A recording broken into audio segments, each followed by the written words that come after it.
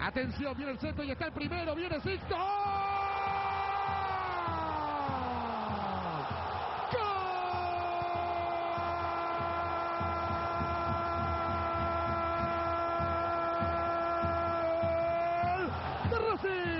Lo hizo Sixto Peralta. A los 37 minutos y medio, la academia gana por 1-0 aquí en la cancha de San Lorenzo.